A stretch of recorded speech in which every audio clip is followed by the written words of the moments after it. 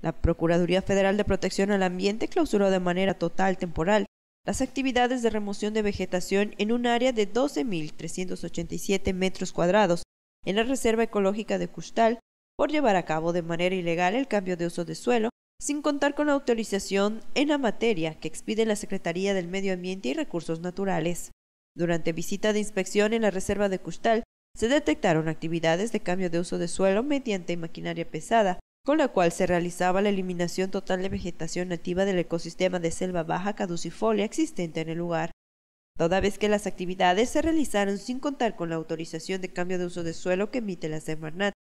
y con el fin de evitar que se continúen ocasionando afectaciones al ecosistema, se impuso como medida de seguridad la clausura temporal de las obras y actividades realizadas. La Reserva de Custal es un área natural protegida municipal decretada el 14 de julio de 1993